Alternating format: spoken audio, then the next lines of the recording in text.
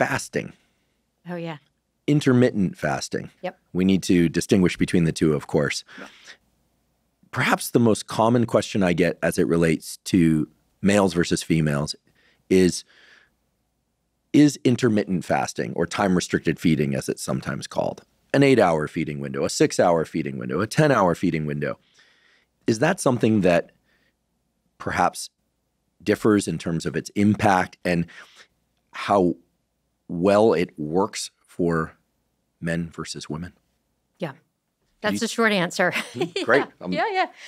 Um, so I'll put some parameters around it, right? So if we talk about intermittent fasting, that's where you have like the 20 hour non feeding window, or you're holding a fast until noon or after. Um, and then we have time restricted eating, and that's the fancy way of saying normal eating, where you're having breakfast and then you stop eating after, or you don't have anything after dinner, right? So you, you're eating with your circadian rhythm during the day.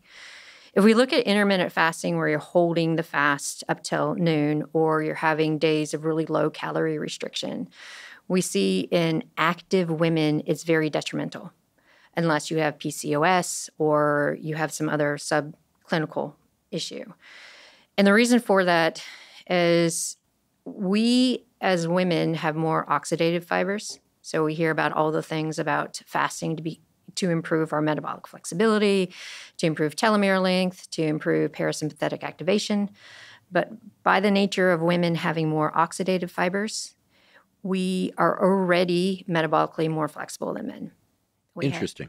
Yeah. I didn't know that. Um, could you elaborate on more oxidative fibers, what that is, and Yeah. how, how it relates to metabolic Sure, flexibility? sure. Yeah. So oxidative fibers are are muscle fibers that are more aerobic capacity. So those are the ones that you know you can go long and slow for very long period of time because it mm-hmm. uses a lot of free fatty acids. You need a little bit of glucose in order to activate those free fatty acids. So when we look when a woman starts to exercise, she goes through blood glucose first and then gets into free fatty acid use. She doesn't tap so much into liver muscle glycogen, which is I think another misconception that happens.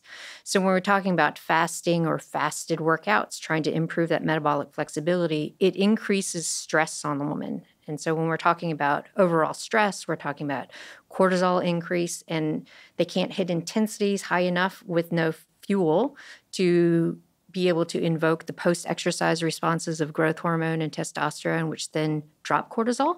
Mm-hmm. So, from an overall stress perspective, that fasted workout and holding that fast for a long period of time increases cortisol.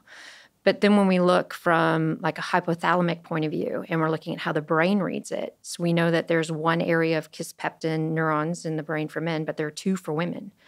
So the two areas are distinct, where one controls appetite and luteinizing hormone, and the other one is looking at estrogen and thyroid. So if you start having an exercise stress or a daily stress of getting up and going on with your day without fuel, you perturb those kisspeptin neurons and downregulate them. And so when you start downregulating them, we see that after four days, you have a, a dysregulation of thyroid. We have a change in our luteinizing hormone pulse, which is really important to maintain endocrine function. And we'll hear this, oh, I've been fasting for so many years and it does great for me. But the other side of the question is well, how much better would you be if you were to actually pay attention to your circadian rhythm and fuel according to the stress at hand and knowing that you're going to garner less stress that way? And if we're really tying in nutrition according to that profile instead of following a fast, we see better brain improvements as well. We see more cognitive function, we see less thyroid dysfunction. And overall, a woman does much better when we're not in that fasted state. Then, when you look at population research that's coming out now, they're showing in both men and women who hold their fast till noon and then have an eating window from noon to maybe 6 p.m. have more obesogenic outcomes than people who break their fast at 8 and finished their eating window by 4 or 5 p.m.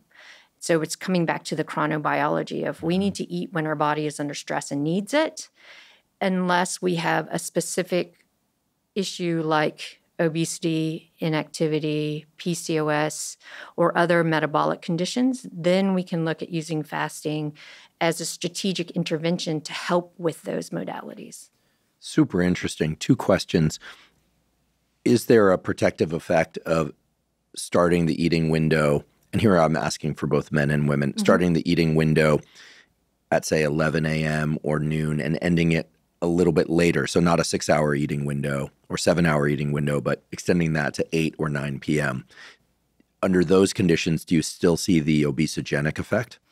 Yes, because we're looking at the way cortisol responds. We know cortisol has lots of fluctuations throughout the day, and it peaks about half an hour after you wake up, right? So if you're having that cortisol peak half an hour after you wake up, but you're not eating, then that is that higher baseline sympathetic drive for women. For men, it's not the same. Mm-hmm. So when we're looking at that obesogenic outcome, the actual timing hasn't been tested yet to see how can we ex- expand or contract that eating window for men. But for women, because of that cortisol peak, that right after waking up, women tend to be already sympathetically driven. So then they walk around more tired but wired and have a really, really difficult time ac- accessing any kind of parasympathetic responses down the way. Where if you have something really small where you're bringing blood sugar up, then it's signaling to the hypothalamus, hey, yeah, there's some nutrition on board. And then we can start our day. So again, it has to look at that circadian rhythm and those hormone fluxes, which people don't really either understand or talk about because mm-hmm. all of our hormones flux through the day. And so you have to look at where's the peak of cortisol, how does estrogen flux, how does luteinizing hormone flux, progesterone, all of these things that have this tight interplay. And the more we're doing the hormone research and the more we're understanding these perturbations and how important it is to fuel for it to stay out of any kind of low energy availability stance. It sounds like intermittent fasting or time restricted feeding, unless it's very well aligned to the circadian rhythm, is not going to be advantageous for women. That's what I'm hearing. I'm also hearing that if a woman trains while fasted, so in the non feeding window, so wakes up, maybe has some uh, hydration and trains, that's going to further exacerbate the stress response in a way that's not going to be good. Exactly. And I have to imagine that if she also is drinking caffeine in order to do that training, because caffeine is a stimulant of the sympathetic arm of the autonomic nervous system, that it will further exacerbate all these issues. So this is an eye opener for me because I've had female training partners for years. I don't eat until 11 a.m. I like to hydrate and caffeinate before I train in the morning, and then I like to eat starting around noon. Several of them have hopped on that schedule with me. Some of them eat breakfast first, some of them don't. They do as they choose, of course.